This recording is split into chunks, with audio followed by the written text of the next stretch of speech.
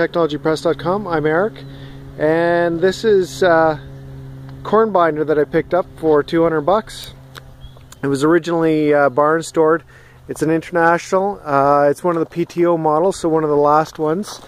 You can see uh, the wood is rotted away, um, but these aren't all that common in uh, eastern Ontario. All the parts are there. So uh, I've got a uh, U-Haul 6x uh, 12 trailer uh, hooked up to the truck and uh, I'm off and ready to move it. So uh, sometimes it's really handy having a truck. Anyway, this should be a fun project. So for more stuff like this and to follow the restoration of this corn binder and it's used for hopefully for one of the most northern fields of sweet sorghum, go to enduringtechnologypress.com. Thanks.